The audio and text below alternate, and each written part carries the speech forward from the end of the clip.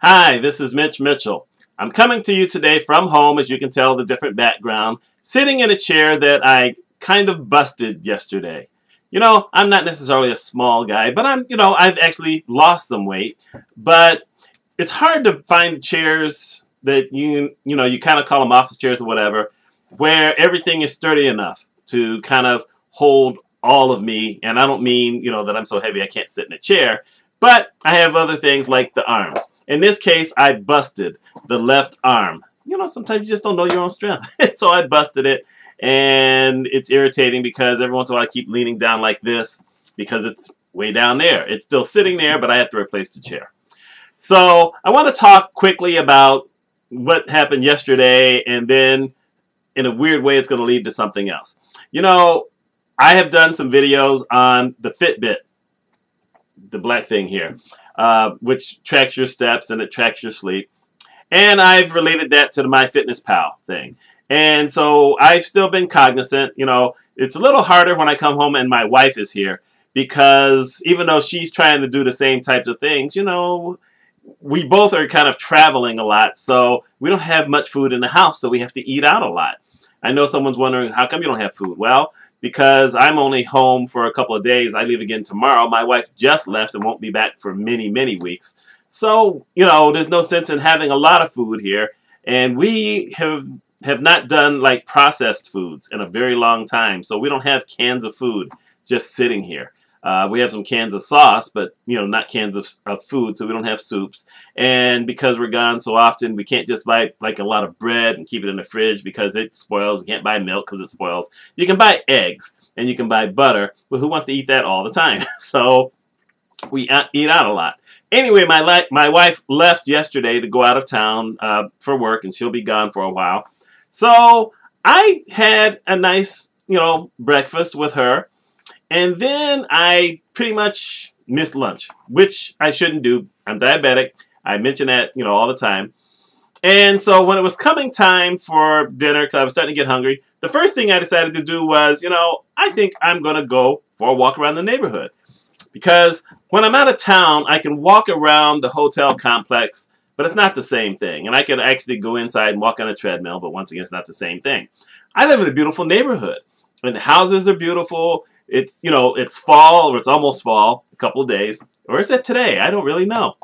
But you know the leaves are changing and it's kind of it's just beautiful. I love Central New York. Yes, I do. Anyway, so I went for a walk and I decided to take the long walk. So the long walk around the neighborhood is about 45 minutes. But I decided to take the walk. I've been feeling good. My back feels good. My feet feel good. So I do the 45 minute walk and I come back to the house and I'm feeling pretty good.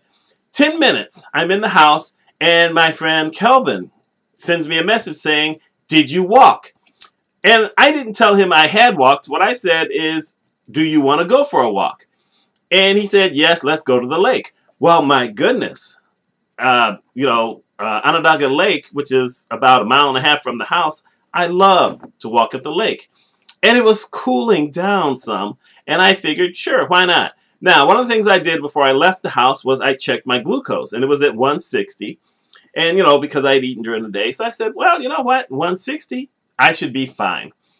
So I go to the lake, and we walked, and we walked probably at least 50 minutes. You know, 25 minutes up, we found a, a certain spot and said, okay, let's turn around there and come back because it was starting to get dark. And when it starts to get dark, that's when all the little beasties come out, even though it's cooler it's not too cool for them. So it gets a little irritating.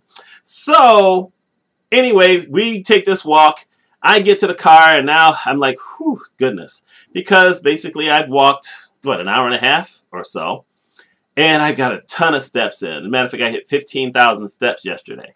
Now, the thing with the Fitbit is that it adds calories back onto what you can have for the day uh, to the MyFitnessPal thing, which I love. Anyhow, we get done with that. I sit in the car. I kind of chill for a bit before I drive back home. And I get in the house and I sit down in my chair and I feel a little shaky.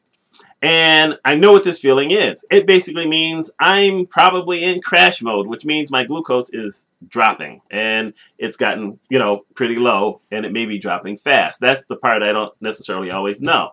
Now, I did a video some months ago, a couple of months ago, where I talked about actually coming back after walking around a lot at this uh, botanical garden and falling asleep, taking a nap, and I woke up. I was in crash mode. This time, I think I was lucky because I was already awake. So I was sitting down.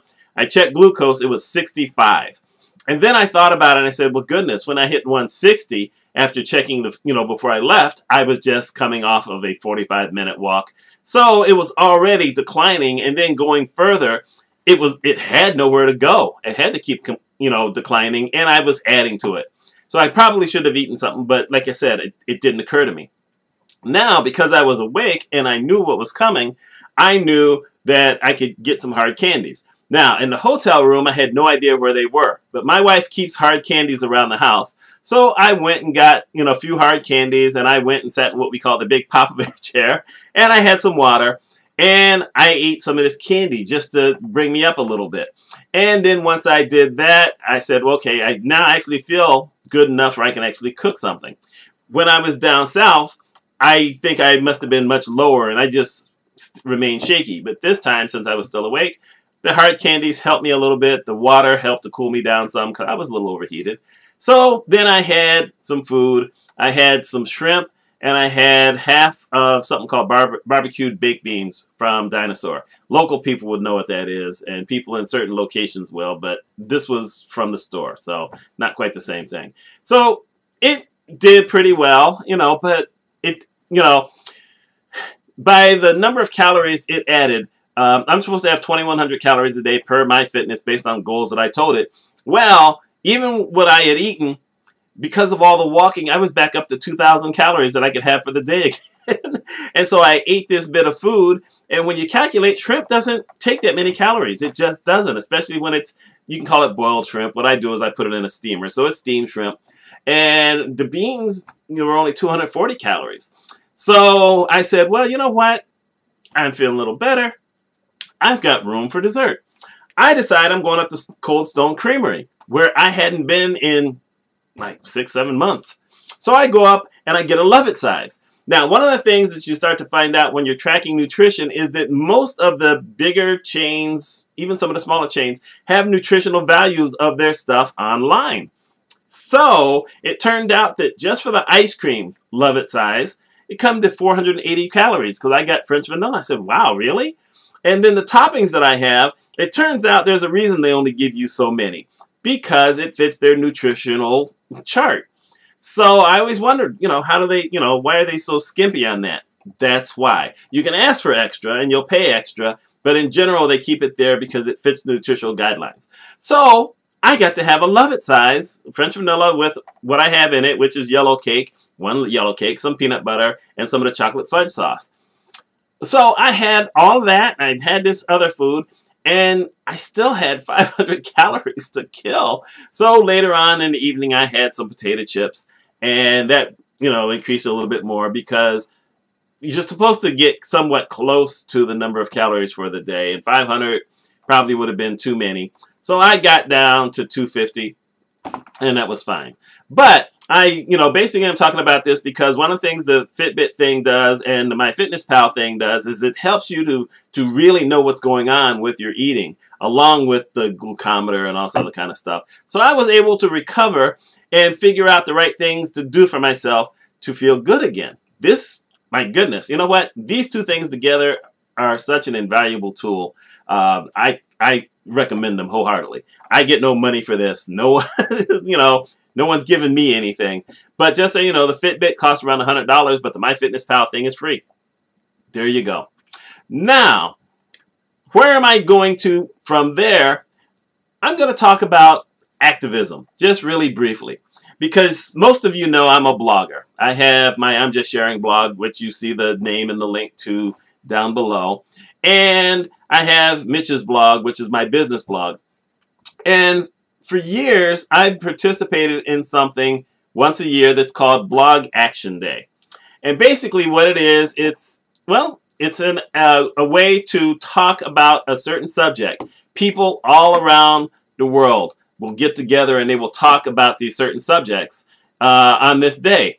And then through Twitter, uh, you know, they will promote them all day long. If you happen to be on the uh, uh, website for these people, you can see where You know, everyone else is putting these things out there, and it's really, you know, kind of cool thing. And in previous years, uh, we've talked about things like human rights, the power of we, uh, food, and poverty. And I've written mainly on I'm Just Sharing. I started out writing on my business blog, but then once I had I'm Just Sharing, I put most of them on there. And I think it's pretty cool. Now, unfortunately, last year, since I was out of town, and this year, since I'm out of town, I'm not going to be around during the day to see what everyone is doing. So I have to catch up pretty much when I get back from the hotel.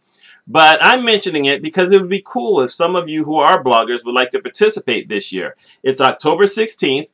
And what you can do, is you go to blogactionday.org and register with them, and then they will, you know, list your blog. You have the choice not to do it, you know, have it listed if you want to. And then they'll tell you the hashtag, and they'll give you access to an image that you can put on your blog. And, you know, you join a community. I mean, I think last year it was somewhere around 2,500 people. I love it to really be a lot bigger. I, you know, I know it's sometimes hard to write on a topic that's not a topic that you talk about all the time, but I think it's kind of important. I think that, you know, we have seen how people can help to make changes in this world by getting together and talking about a certain subject. And you talk about the subject based on however you perceive it. So I find I find it interesting how you can read other people's blogs on that day or whenever and just see how their perspectives uh, are so much different than yours sometimes. Actually, sometimes they're the same, but they come at it differently. Like when I talked about poverty, um, and I'm going to have links to my older blogs below if anyone wants to go look at them. Uh, but on one of the blogs, when I talked about poverty, I talked about the year I spent in Kansas City when I lived kind of in the ghetto and what I saw. Uh, you know, that's my experience. So I you know, know a little bit about that. This year, the topic is inequality. And I'm thinking, you know, that's a pretty big topic. Every year, as a matter of fact, it seems to be a pretty big topic. So I I have an idea of what I'm going to be writing about. And like I said, I'm only going to be writing it on I'm Just Sharing. But I'd love more people to participate in this on this day. So I'm putting it out there and we'll see, you know, if anyone wants to. And maybe we can find our own way to connect with each other and share with each other and comment on each other's blogs on that day. You know, it's all about helping the world sometimes, isn't it? That's how I see things. So anyway, that's all I have.